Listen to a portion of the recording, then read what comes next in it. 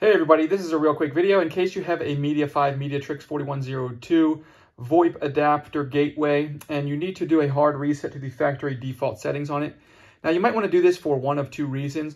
The first reason is for troubleshooting. If your gateway keeps crashing or if it's not connecting to your devices um, or if you're just having any other troubleshooting needs where it's not working, um, this can very often fix the issue. Just keep in mind, this will wipe any of the configurations that you have on it off of it, and you'll have to set it up again like it came out of the box. Which brings us to the second reason you might want to do this. If you're trying to set this up on a new system or something like that, and you just want to get a fresh start and wipe everything off it, we can go ahead and do that. All you're going to need is a paper clip um, or a pin or something that you can put in the reset hole. Um, so what we're going to do is the first step in the process to do this is to uh, cut power to the uh, turn to turn the, um, the, the adapter off. And once it is off, you're going to go in with your paper clip and you're going to press and hold the reset button inside the recessed hole.